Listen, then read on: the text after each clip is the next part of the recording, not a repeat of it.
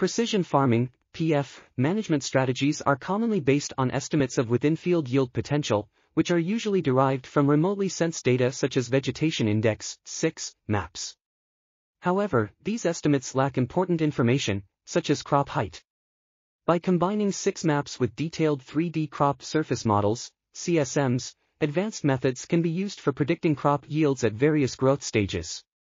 An unmanned aircraft system, UAS, was used to capture standard RGB imagery datasets for corn grain yield prediction at three early dash, mid dash, and late season growth stages. Imagery was processed into orthophotos for crop slash non-crop classification and 3D CSMs for crop height determination at different spatial resolutions. Three linear regression models were tested on their prediction ability, using site-specific, unclassified mean heights, 2, crop-classified mean heights, and 3, a combination of crop-classified mean heights with corresponding crop coverages.